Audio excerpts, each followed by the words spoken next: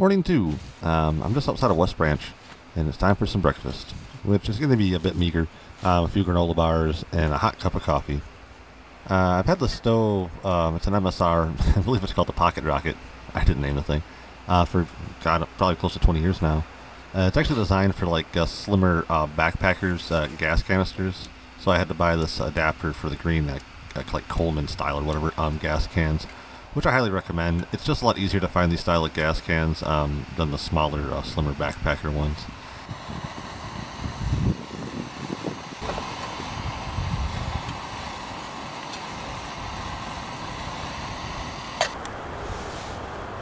Like cup. Oh, that's violently hot. Tastes more like cup than coffee. Doesn't taste like campfire. Best part of waking up is a campfire in your cup. So I've been busy with remodeling my bathroom, like I mentioned in the previous episode, and I got that done. Um, I've also been working on a lot of solar stuff, like these uh, 12 volt RV lights. I can hook them directly up to the battery, so that way I don't have to run any kind of inverter or anything. I also got this 12 volt um, fridge, which original plan was turn off this um, kind of power bank that's being fed off to some solar panels, but this wasn't really having enough power for overnight, and just really didn't have enough oomph overall. So now it has uh, its own battery bank to the fridge of this AGM, which um, also allowed me to hook up some other lights to it. And then there was some further upgrades I wanted to get going um, with the main solar bank ever since I had these new batteries. Now I have a, a switch in the living room and all these new fancy components, which I'll talk about in a series I'm still trying to figure out how to format. I'm talking about figuring out how to format things, um, like this shot. I actually set up three other cameras, and this shot actually took me, with the camera set up and tear down and all that stuff, uh, probably close to an hour. And I edited it for several hours. And um, when I was done, it was almost, eh, not quite three minutes long and it was just too long and just was kind of nothing. It was pointless.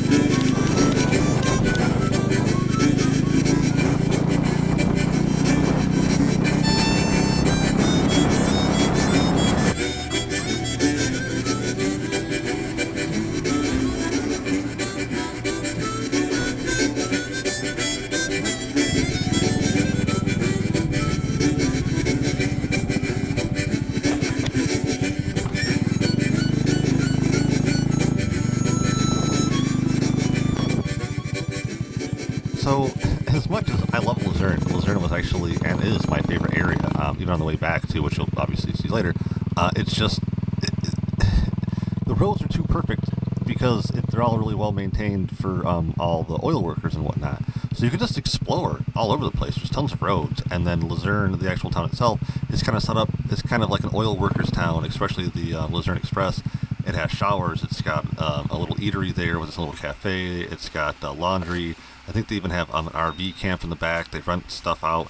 It's just a really interesting place. But going back to how well the roads were, when watching the footage, nothing really happened. So to be honest, it's kind of boring. So I just kind of cut to the next spot and uh, the adventures I like doing, which is uh, making camp. Especially tightly. I'm not quite sure when I'm doing that. I'll figure it out. It's a bill hook. A mini bill hook, actually.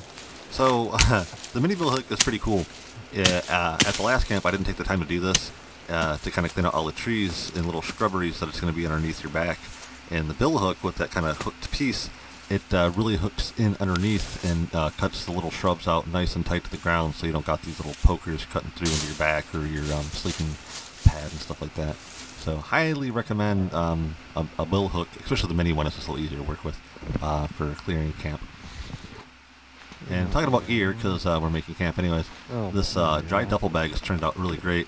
It's uh, really, really super durable. It's originally designed with like fly fishermen peoples in mind, and uh, so far it's adapted really well to uh, my needs.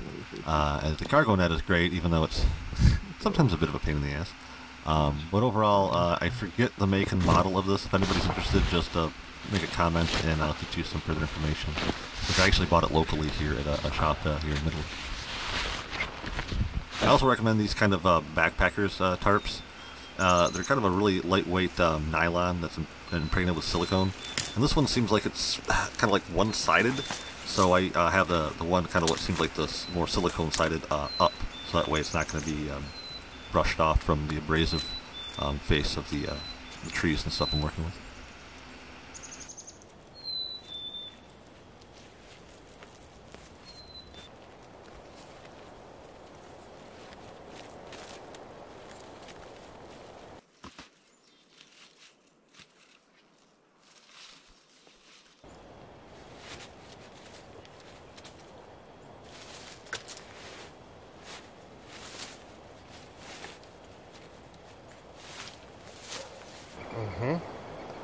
So I have a safety pin in my pocket. A safety pin.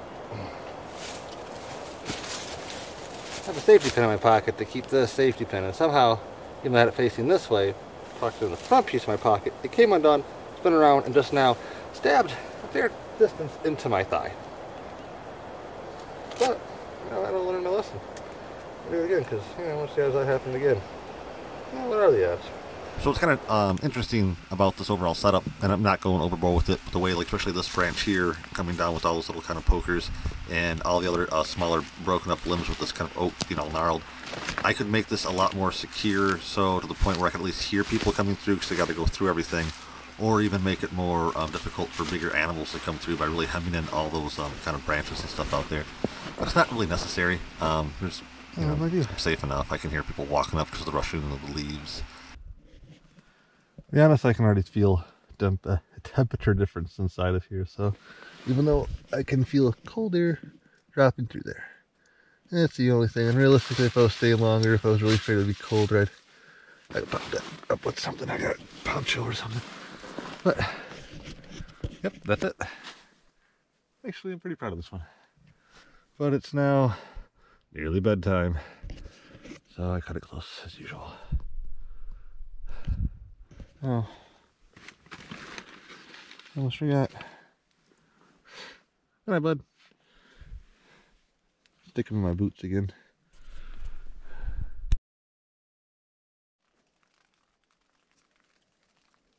So you hear that? It's like snowing-ish. Sleeting-ish. But here's the funny thing, I just started. Uh, where? What is what why? It's blue. Like,